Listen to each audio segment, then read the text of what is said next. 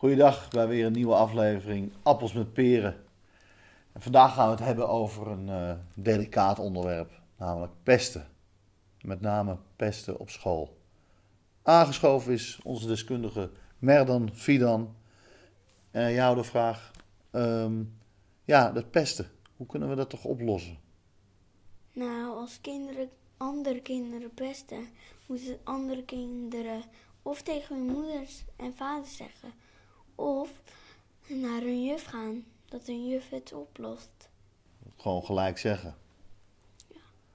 Want ja, anders gaan ze er maar mee door. Natuurlijk. Eh, word jij wel eens gepest? Of pest jij wel eens? Ook niet. Nee. Oké, maar stel jij wordt gepest. En jij hebt het gezegd tegen de juf. En je hebt het gezegd tegen je ouders. En daarna word je alsnog gepest. Heb je dan ook nog een oplossing? Als kinderen op een hobby zitten, zoals kraten, judo en zo, Ja. vechtsporten, dan kunnen ze hunzelf verdedigen. Ja. En ik zit op kickbox, ik. Oké, jij zit op kickboksen. Ja. Dus dan eh, kan je het gewoon zelf eh, ook oplossen als het eh, echt Ja. nodig is. Maar ik sla hun niet als ze me wil slaan, pak gewoon hun hand. En zeg ik, kunnen jullie weggaan? Pak je, dus stel ik, ik, ik, ik val jou aan.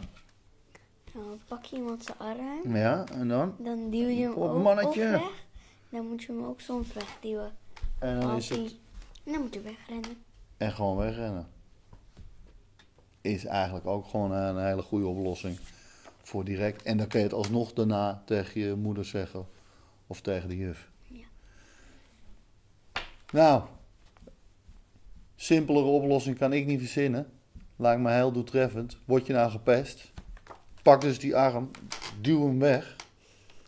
Weghollen en zeg het tegen de juf of tegen je vader en moeder. Dit was weer een aflevering Appels met Peren. Tot de volgende keer. Super. En dat was een nieuwe aflevering van Appels en Peren.